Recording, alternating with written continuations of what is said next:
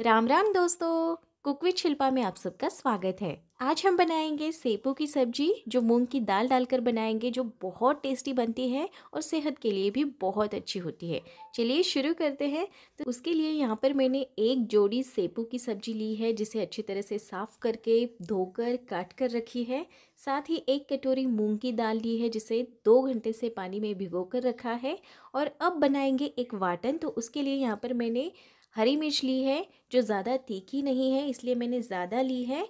आपको कितना तीखा पसंद है, उस हिसाब से आप ले सकते हैं। तो 10 से 12 हरी मिर्च और 4 से 5 लहसुन की कलियाँ, जिसे मिक्सर जार में पीस कर रखा है साइड में।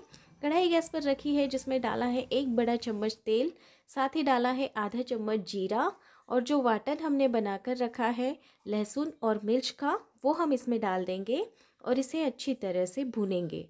एक आध मिनट के लिए लो फ्लेम पर इसे अच्छी तरह से भूनना है। उसके बाद हमें इसमें डालना है आधा छोटा चम्मच हल्दी पाउडर।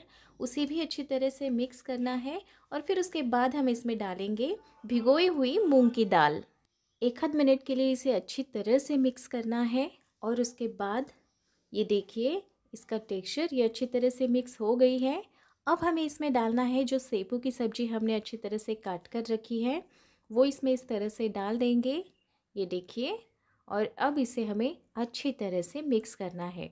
गैस की फ्लेम बिल्कुल नहीं बढ़ानी है, वरना दाल जो है कढ़ाई को चिपक जाएगी और जल जाएगी। गैस की फ्लेम लो ही रखनी है और लो फ्लेम पर ही इसे अच्छी तरह से मिक्स करना है।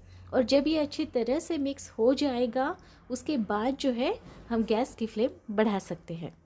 तीन से चार मिनट यहाँ पर लग जाते हैं इसे अच्छी तरह से मिक्स करने के लिए और यहाँ पर आप देख सकते हैं ये अच्छी तरह से मिक्स हो गया है।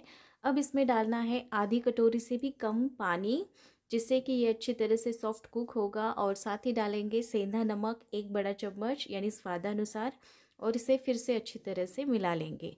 पानी डालने की वजह यह है कि अब हम इसे अच्छी तरह से मिक्स करके ढक के रखेंगे दो मिनट के लिए लो फ्लेम पर। तो पानी की वजह से दाल और सेपू की सब्ज़ी जो है, कढ़ाई को नहीं चिपकेगी और नहीं जलेगी, बल्कि ये अच्छी तरह से स्टीम होगी कुक होगी, इसलिए इसमें थोड़ा सा पानी डालना ज़रूरी है। तो अब इसे अच्छी तरह से मिक्स करने के बाद ढक के हम दो मिनट के लिए ऐसे ही छोड़ देंगे। दो मिनट के बाद जो है, सब्ज़ी बनकर रेडी हो जाएगी। दो मिनट यहाँ पर हो गए हैं और गैस बंद कर दिया है। आप देख सकते हैं यहाँ पर सेब की सब्ज़ी जो है, बनकर रेडी है, जो बहुत टेस्टी लगती है, रोटी के साथ, चपाती के साथ, यहाँ तक कि चावल के साथ भी ये सब्ज़ी बहुत टेस्टी लगती है। टिफ़िन के लिए भी आप ये सब्ज़ी बच्चों को दे सकते हैं, बड़ों को भी या फिर कहीं ट्रैवलिंग करना है तो भी लेके जा सकते हैं, बहुत टेस्टी लगती है। तो मिलते हैं नए वीडियोज़ के साथ। Thanks for watching